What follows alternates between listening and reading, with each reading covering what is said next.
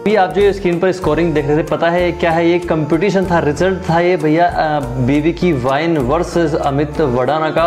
जिन लोगों ने, ये दोनों एक हमारे ऐसे यूट्यूबर हैं जिन्होंने आज अपने 10 मिलियन सब्सक्राइबर पूरे कर लिए हैं। तो विनर आपके सामने रहे बीवी की वाइन और मैं खुद चाह रहा था कि बीवी की वाइन ही विनर होनी चाहिए क्योंकि भाई, बीवी की वाइन यानी कि भुवन बाम जैसा एक्टर डायरेक्टर मतलब कॉमेडियन कोई है ही नहीं यार यूट्यूब पर, कोई नहीं है। मतलब मेरी नज़र में अभी तक उसके जैसा बंदा यूट्यूब पर नहीं देखने के लिए मिला है, जिसने हर एक कैरेक्टर को बखूबी निभाया है, हर एक कैरेक्टर को बखूबी परफॉर्म किया है। तो भाई, मैं तो सच में बहुत बड़ा फ़ैन हूँ बीवी की वाइन का। अपना पर्सनल ओपिनियन मेरा यही था मैं चाह रहा था, जब ये लाइव कॉन्टेस्ट चल रहा था तो मैं चाह रहा था कि भाई बीवी की वाइन ही विनर हो इस कॉन्टेस्ट का। तो फाइनली जो है, बीवी की वाइन ने बहुत अच्छा एकदम स्कोर गेन किया। अब चाहे जो मर्ज़ी हो, अब कोई भी ऊपर नीचे तो होता ही रहता है। बहरहाल, बहुत बहुत कॉन्ग्रेचुलेसन बहुत बहुत मुबारकबाद। दिल से भाई रेस्पेक्ट करता हूँ, दिल से प्यार करता हूँ, बीवी की वाइन से।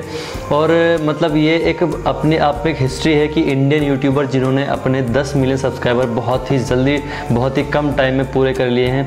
भाई, बीवी की वाइन जो है ना, एक ऐसा करेक्टर है जिसने हर एक करेक्टर को सिंगर डायरेक्टर एक्टर भाई मतलब अब बस मूवी कमी है, वो भी आने वाली है। पंद्रह अगस्त पंद्रह सितंबर को सुना है मैंने, जिसका नाम रहेगा प्लस माइनस भाई, बंदे ने मूवी तक बना दी यार सिंगिंग सॉन्ग वगैरह सब।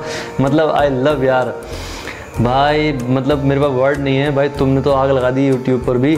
और बस दिल से बोलना चाहूँगा कॉन्ग्रेचुलेसन दिल से बहुत बहुत बधाई। अगर आप ये वीडियो देखते हो तो भाई लव यू यार। तो बस इस वीडियो में ज़्यादा कुछ था नहीं बस कॉन्ग्रेचुलेसन बोलना चाह रहा था आप, आपको आप दोनों को अमित वड़ाना जी को भी क्योंकि उन्होंने बहुत अच्छा स्कोर जो है गेन किया है बट आई लव बीवी की वाइन सो बाय